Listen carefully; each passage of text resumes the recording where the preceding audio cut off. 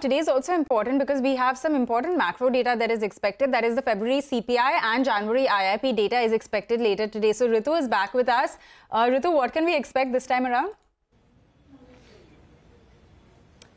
You know, the consumer price or the retail inflation for the month of February is not expected to change much from the previous month, but the industrial growth data that is expected today for January, that is expected at a three-month high according to our estimates. Now, let me start with CPI. According to our poll, that is seen at 5.12% for February, and this is a poll across all of the top economists in the country, so not much change from the 5.1% reading that we got in January. The reason why CPI is not seen falling too much month on month is largely largely because of food prices within which we're spe specifically talking about vegetable prices.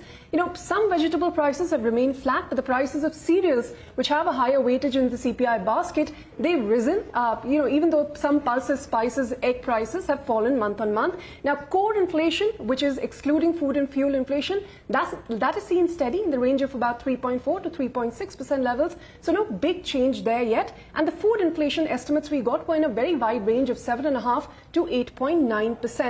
If we do get CPI around the 5% mark, this will be the sixth consecutive month where CPI will be within RBI's tolerance band of 2 to 6%. On the IIP data, a poll suggests that the January IIP could come in at around 4% compared to 3.8% that we got for the month of December. Various estimates ranging from 3.1% all the way to 5.1%. But even at the 4% consensus estimate, it'll be at a three-month high.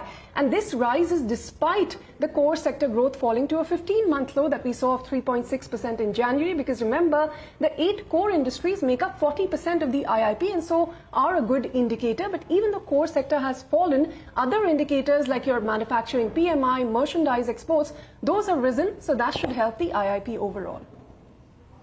All right. Thanks, Ritu, for getting us all those data and uh, details. Of course, the macro numbers are going to be keenly watched out for. In fact, the global investment